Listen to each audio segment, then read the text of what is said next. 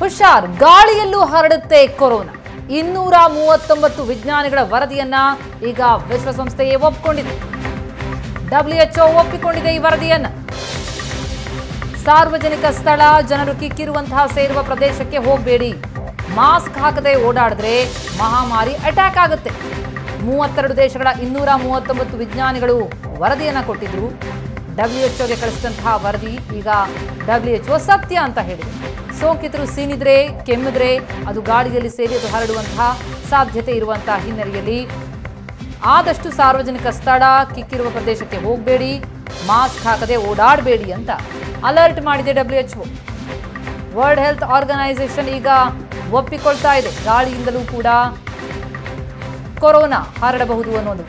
ಇನ್ನೂರ ಮೂವತ್ತೊಂಬತ್ತು ವಿಜ್ಞಾನಿಗಳ ವರದಿಯನ್ನ ವಿಶ್ವಸಂಸ್ಥೆ ಒಪ್ಪಿಕೊಂಡಿದೆ. ಸೋಂಕಿತರು ಸೀನಿದ್ರೆ ಕೆಮ್ಮಿದ್ರೆ ಅದು ಗಾಡಿಯಲ್ಲಿ ಸೇರಿ ಆ ಗಾಡಿಯಲ್ಲಿಂದ ಸೋಂಕು ಮತ್ತೊಬ್ಬರಿಗೆ ಹರಡುವಂಥದ್ದು. ಈ ವಿಚಾರಕ್ಕೆ ಸಂಬಂಧಪಟ್ಟಂತೆ ಮೂವತ್ತೆರಡು ದೇಶಗಳ ಇನ್ನೂರ ಮೂವತ್ತೊಂಬತ್ತು ವಿಜ್ಞಾನಿಗಳು ಅಧ್ಯಯನ ನಡೆಸಿ ವರದಿಯನ್ನು ಕೊಟ್ಟಿದ್ರು ದಾಖಲೆಗಳ ಸಮೇತ. ಈಗ ಅದು ಸತ್ಯ ಎಂದಿದೆ ಡಬ್ಲ್ಯೂಎಚ್ ಹಾಗಾಗಿ ಮಾಸ್ಕ್ ಹಾಕದೆ ಹೊರಗಡೆ ಓಡಾಡಬೇಡಿ.